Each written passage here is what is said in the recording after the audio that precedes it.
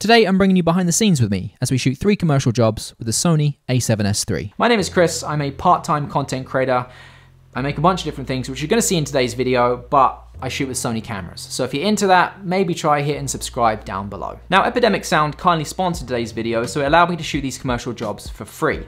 Now they are clients that I've worked with before to do proper paid work, but by shooting for free, it gives me total freedom, total flexibility. There's no pressure on either party. I know I wanted to make a video about how to shoot these, the BTS, that kind of thing, talking about the music. So that's why I wanted to do it for free. I'm gonna show you some behind the scenes while I was shooting each video, or while I talk to you about what it is that I'm thinking and the music choices that I kind of thinking in my head will work with the edit that I'm gonna end up creating. To elaborate on music a little bit, I use Epidemic Sound for all of my YouTube videos like this, but you may not be aware they actually have a commercial plan too. So if you're a one-man band or you have a production company, you make videos for businesses, for clients, then you're able to actually take advantage of their commercial plan.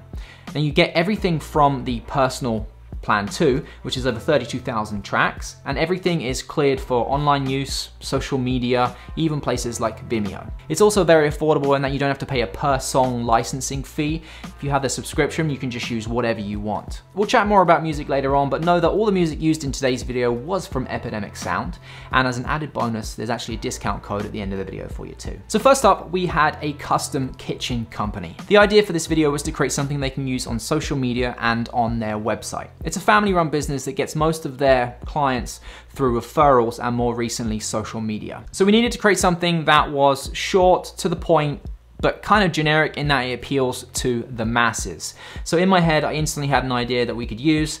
Josh, one of the owners, was going to talk about the business or is going to talk about the business as we're overlaying B-roll on top of that. That's how you're actually meant to use B-roll. You have your content, your story, your meat and potatoes of the video, and then you have B-roll which goes over the top to it to just add to that. You don't just throw B-roll into a timeline and do what you want with it. We knew going into this, this is what we were gonna do, so Josh prepared a script, something he wanted to talk about, about 30 seconds in length, and he prepped it, practiced it, and he actually ended up doing really well for someone that isn't used to being on camera. And then for the B-roll, I wanted them to just go about their regular day, cutting things, spraying things, sanding things, and that's how I captured my B-roll. This is one of the most common styles of commercial videos you'll see, someone talking, things interlaced over the top of it. Very simple, very easy to shoot as well. When it came to the music for this video, I knew I needed something with a beat. Although it's a shorter video, I needed something to keep it moving. But I also wanted it to be happy and almost like corporate feeling, but more relaxed, if that makes sense. This wasn't an edit where I had the music in there first and then based the edit around that. It's the complete opposite. I edited the entire video, it was nearly complete, and then I added the music in. Because of that, you could pretty much take the music out and put in another very similar style of music and it would work just as well. Let's take a look at how the video came out.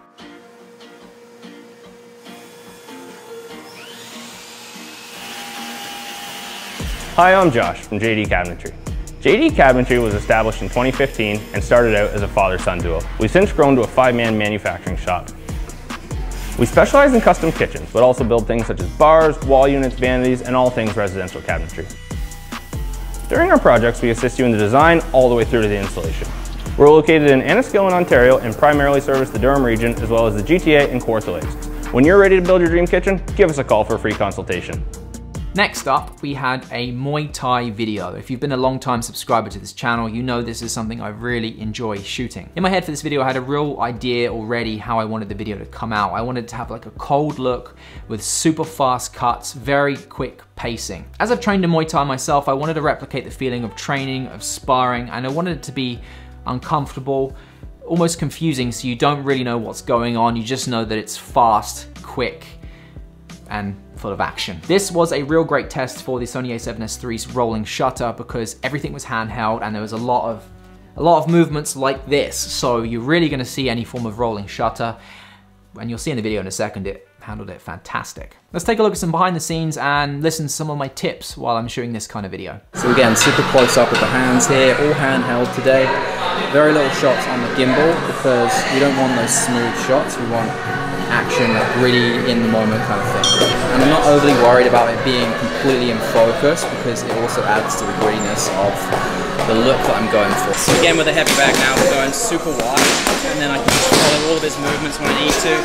With using this lens as well I can just quickly punch in if I need to, get a closer up, a little more of a tighter angle. So this light up here, uh, I want to use it in the background. If you look, when we get real close, adds a nice little flare in the background here. So Tight, close shot, handheld, light in the background, just a nice little look. Elbow up. Two. Ah. Check, turn up. Check, turn up. Hey, one, two. Ah. For the music in this video, I had a look in my head already, so I knew I needed to find the music before I could even start the edit. I wanted something that had a little bit of an intro and then a drop so the pacing can increase. I ended up using the onboard mic, which might not have been the best decision, but it did end up working out. I've made a bunch of these videos before and I have ended up using literally sound from Epidemic. They have a huge list of like punches and kick sound effects. So I knew if I needed to just add the sound in post, I could. I think I ended up using a ring bell sound effect, a drinking bottle or drinking water from a bottle sound effect, and uh, a bunch of different punches. As I mentioned, for this video, I needed the music before I could start on the edit. And the music that piece that I found that I really, really liked, the timing didn't work exactly. So the intro kind of was a bit too long before the beat hit. So what I ended up doing is cutting it and splicing it together from different parts of the song so that it matched the timing that I needed. And it ended up working out really well. And I think you'll agree with me that you can't even tell. And this is my favorite of the videos that I shot. This edit took me close to six hours to make.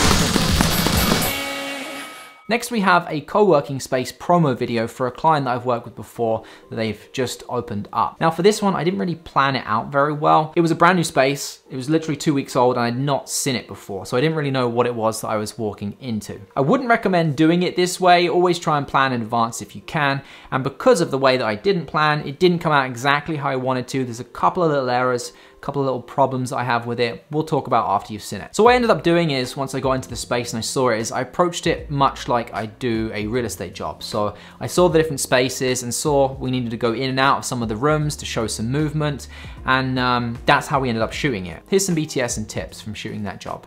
All right, so this time we are filming a like spotlight kind of showcasing this new space. Uh, it's called the Park. It's a co-working space. Uh, going to be using the Ronin this time, so gimbal, want much smoother shots, parallax movements around doors, that kind of thing. 1635 f4 on the A7S III. Let's do it. So I treat this much like I'm treating real estate. Nice wide lens, little tiny parallax movements, just to showcase the space. If you're using a really wide lens and you're just shooting just kind of like this, it doesn't really show much movement. But as soon as you add an object in the foreground, it gives you a lot more movement. You always want to do the ninja walk when you're using a gimbal, just to reduce any of the up and down movement, which is movement the gimbal can't counteract. Into that thought process. This is Spotify. That's working. I'm running the music right now. That, that's it, that's a job. Someone's got to do it. Showing ever so slight little movements, just to show the whole space. I realized that it wasn't gonna work exactly how I envisioned. Just moving from space to space, it's quite a big open space, so by just doing that, it's gonna become boring very quick. So I needed some, some glue or some story to hold it together. So they actually had a coffee shop or an espresso bar on site, and what I decided was to shoot the process of making a coffee briefly or loosely, and that was the basis for the story, and it actually ended up working pretty good, in my opinion. So we just had the coffee making process, and then we showcased the co-working space throughout. I know when it came to music that I wanted a coffee shop kind of vibe feel to it, that same similar style of music you get when you walk into a coffee shop. I went on, I found the coffee shop style music, the chill kind of lounge music, and I found a piece I liked, threw it into the timeline, and I edited to the beat. Epidemic actually has a pretty big selection of this kind of music, like chill hop or lounge style music. It's typically music that you'll have heard in my videos before, the background tracks, the music you'll have heard in today's video with the titles overlaid on it too uh, so you know what some of them are. So if you like that kind of music and you want to use it in your videos, they have a bunch to choose from. Once I watched back the video and the edit, it was all done, I realized I kind of needed something extra.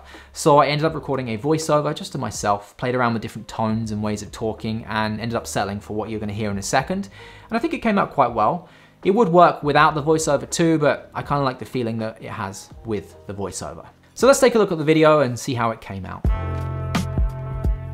swing on by The Park, a co-working space with a fully staffed on-site espresso bar. There's private offices rentable by the month and a ready-to-record podcast studio too. The park is the perfect place to focus, close a deal, or grow your business without having to make expensive long-term commitments.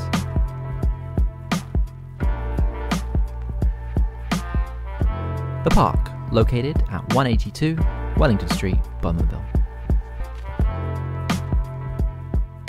So it didn't come out exactly how I wanted it to. There's a few continuity issues in there, and that's mostly due to it being like an active space that was functioning when we were there. If we had wanted to, we probably could have just closed it down for half an hour or 20 minutes or something to get the shots we needed and planned out a little bit better. Little things like you'd see someone in one shot and then in the next shot you'd see the same person but they're in a different location or you'd see someone and then another wide shot and you can see in the background that the person's not there. Little things like that shouldn't happen if you plan properly so if you're gonna take something away always plan your videos properly. So there we go, three commercial videos shot with the Sony a7S III, all varying styles, all very different, all complemented hugely by the music that we ended up picking for the edit. The music actually being the base of the edits for two of those videos. So music was picked before we even started editing the video. When it comes to picking music on Epidemic Sound, there's a few different ways to do it, but my personal preference is to go by genre or just search the feeling or the vibe that you want to get and it will give you that kind of music. So if you want happy, upbeat music, just search for happy, upbeat, and it will give you a bunch of options. Literally download it, drag and drop, throw onto your timeline, Bob's your uncle.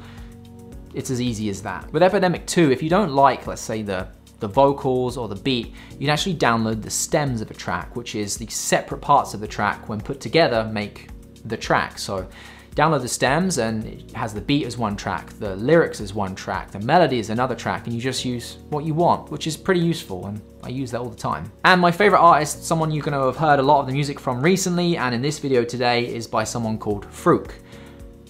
Frook? F-R-O-O-K? I think it's Frook, but it's that person, that's who I like right now. So if you're a one-man band creator like myself, or you're a production company and you need music, you need sound effects, definitely consider trying Epidemic for their commercial plan. You get everything from the personal plan, which is over 32,000 tracks, 65,000 and growing sound effects. It's also very affordable, which is pretty important if you're a solo creator just grinding and making your videos for business and clients. You don't have to pay per song. A monthly plan is $49 a month, or if you want to do it for the year, it's 299, which works out to be 25 a month. You save a little bit there too. And as an added bonus, there's a discount code down below. I'll probably slap it on the screen right there for you too. Thank you to Epidemic for sponsoring today's video. This video was packed full of information, so I really do hope you got something out of it. How I shoot, how I think, how I approach my edits in terms of music, lots of stuff. So yeah, if you liked it, please consider subscribing if you're not already subscribed to this channel. Maybe share it with a friend, whatever you want. Anything helps, I appreciate it. Right, thank you for watching again. I'll see you guys in the next one. See you later.